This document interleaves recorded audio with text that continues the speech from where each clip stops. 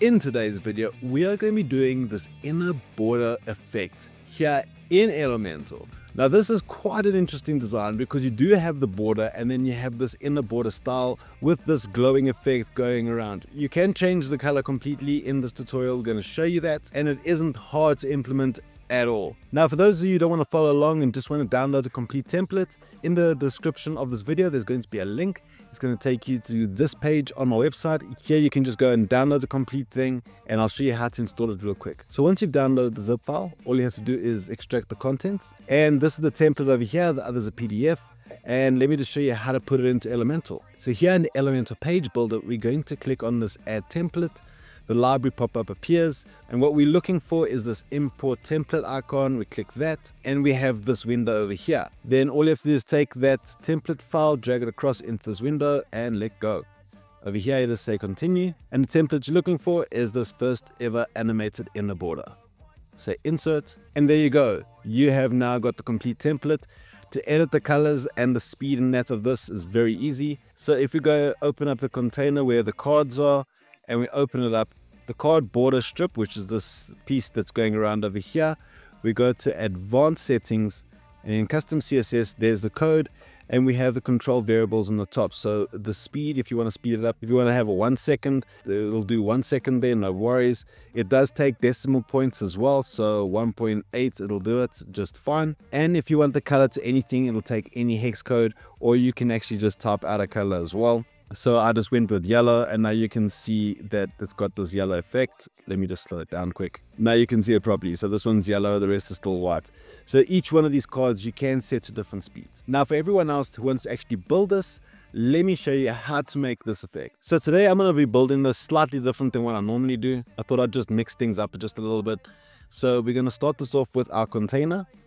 So we click on the plus icon, we're choosing Flexbox, and we're choosing this one right over here. The settings of this, we're going to make sure it's full width, making sure that's 100% width. The min height, VH, going to set this to 100. Then the direction, we're going to change it to horizontal and justify contents we want it in the center. Now the gaps over here, I'm going to set this to 10. For the background, it doesn't really matter what it is. So I'm to go to style click classic, maybe choose an image. I think I'll go with that one over there. And then I'm just going to make it a little bit darker. So I'll go to background overlay and just make it a little bit darker. So choose black and just pump it up just a little bit. Okay, so now we're done with the container.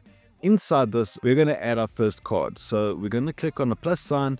We're going to take the container widget and put it in. Now this particular container is going to be this border that you see here and not the inner glowing one. So what I'm going to do before I change settings here is on the right hand side in this navigator, I'm going to rename this to card. If you don't have this, then the icon is this one over here that'll open up that navigator. Now for the settings of this, let's go and put in a background. So I'm going to go to style, the background type. I think I'm going to be doing gradient and then just like I had done in this example here, then the first color, I am going to choose maybe this sort of color green. It really doesn't matter. It's just your design choice. Then the second color, I'm going to choose this sort of blue. That looks fine. Then the angle, I think I want to go from the top left corner. So I'm going to rotate it to maybe about, about 150 degrees. That should be fine. And then I'm going to keep it linear. Then as I go down to border, I'm going to give this a border radius. So as you saw over here, there's this whole border radius. So I'm going to put this to maybe 10 pixels. Now, if you want, you can add a border shadow here. So offset off the actual page. I'm going to do that over here. It's totally your design choice.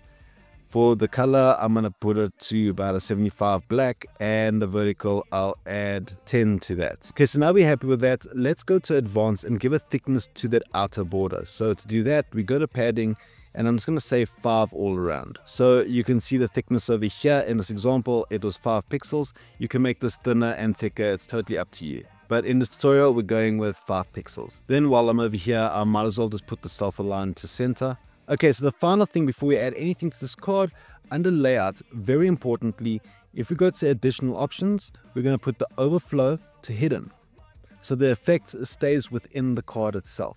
And that's pretty much all the settings that we need to do for this container. So now we're going to add the container that's going to be doing this effect right over here. So In the editor, click the plus sign, take the container, put it in, and then I'm going to rename this to the animated strip. It doesn't matter what name you give it, it's just so that when you are editing this later on, you know exactly what is for what. Then there's not many settings I'm going to be doing over here. So the actual color, I'm just going to set this to black. And then the border radius, I'm also going to say that this is a 10. And then if we go to advanced, I'm also going to give this a padding of 5. And that's going to give that thickness of this space over here. We can add more or less, completely up to you. But in the tutorial, again, just going with 5. Then while I'm here, I'm also going to self-align this to the center. And then the final thing we have to do over here before we move on to the inner stuff is, again, we go over to layout, we go over to advanced options, and then we say the overflow is hidden on this one as well. And that's all the settings that we really need. Now something that I do want to do is just make sure that it goes right to the edge here because, because it isn't right now. So if I click on my card, I must just make sure that the layout of the actual card, this colored uh, section here, is at full width. The black will actually go right to the corner. So if you're just doing this for one actual card and not having a whole bunch of them, this will definitely help. So we're just to have that done. Okay, so now inside this container, we are going to add two. The one is to be for the content and one is going to be a control for the actual glow. So if we click on the plus sign, I'm to go drag the container widget, put it in, and then this one, I'm just going to duplicate.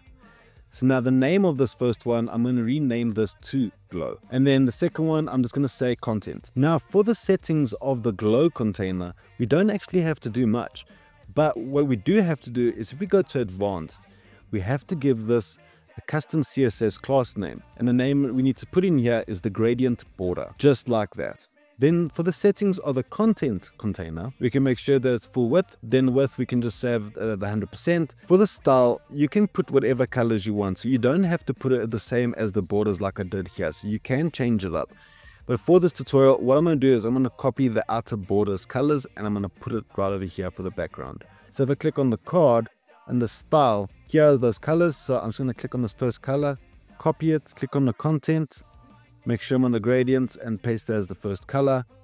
Go back up to card, copy the second color, back to content, paste the second color, and then I'm going to put it in the same direction. So go back up to card, copy the 150, go to gradient, and paste the 150. So now it'll follow the same direction as the actual outer border. Now, once we're done with that, we are going to go over to advanced and the padding here, I'm just going to give it a bit of padding here. So about 10 pixels is pretty fine. And that's pretty much it. So we're going to be putting in the content here inside the content container. I'm going to hit the heading widget, the text widget, and a button. So click the plus sign, get the heading widget, put it in there, plus sign, text editor widget, put it in there, and plus sign again, and get the button. For the heading, I'm just going to put it into the center and put it to white. I'm going to do the same thing for the text. I'm to click on that text, center white, and the button under style center text color can be white, background disappears, border top, solid, say 3 pixels with a border radius of 50, and I'm going to change it up on hover. So I'm going to click hover, text color can say be black, background color is white and border stays white. So it has that sort of effect. Now the difference that i'm going to be doing over here is actually normally i just put in percentages of how big the card should be but a lot of people are asking me to actually add spaces. So if you like a percentage way please do it that way. For this tutorial i'm changing it up. I'm just going to put some spaces. So i'm going to click on this plus sign get the spacer widget, put it above the heading. Then I'm going to duplicate it and I'm going to take the second one to below the button. And then for the actual space, I'm going to say 150. And the top one, I'm going to do the same. Just going to add 150. So this will be the actual card size here. So if that's not your design style, totally cool. Quite surprisingly, quite a few people were asking me to do the space spacer type, so I'm just doing that in this tutorial. Okay, so now that we're done with that, we're going to put in the code. So in the description of this video, that's going to take you to a reference page on my website. So eh, here's that page over here. If we scroll down, here's the code that we are going to be using. So we're just going to copy this. We're going to go back into the editor and the animated strip, not the card or any other ones, but the animated strip, we're going to go to advanced and we're going to paste that code in the custom CSS here. Okay, so now that we have the code in place, one thing that I want to add to this inner container here for the content is if I click on the content container, under style, I must also just give this a border radius of 10 so it follows the whole design there. So now that's the inner border radius there. There's the border radius of the animated one, and then there's the border radius of the outer edge. So now that we have everything in place, we are going to duplicate this card. So duplicate it how many times you need. For here in this example, I'm going to duplicate it twice. So duplicate and duplicate. Now we have the three cards. Now, in order to actually show the effect, the final touch that we have to do is if we go to the main container and we go to advanced, here under the Z index, all we have to do is say one. And there we go. There's all our different animations working. So the same thing as what I had said earlier if you wanted to actually customize it. So I'm going to select this first card and then the animated strip in advanced. If I wanted to change anything, here it is. So if the color, I wanted it to be say red, there you can see that the color is red going around. And if I wanted it to be say slower, I can add it's slower and then you can see. So another cool thing that you could do is actually set the different rotation speeds differently and it'll do a whole nice effect there as well. So you can really go to town with those type of settings. So I'm to put it to 5. Yes, this does accept hex codes, so you can add any hex you want there. Right here, I'm just to say white. And that's pretty much everything that you need to know for this, really. And it's something unique.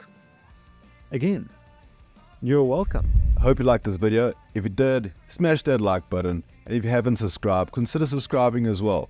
That stuff makes a big difference to a small channel like mine. If you have any suggestions or anything, then just put a comment down below. Let me see what I can do. And I'll see you in the next one. Cheers.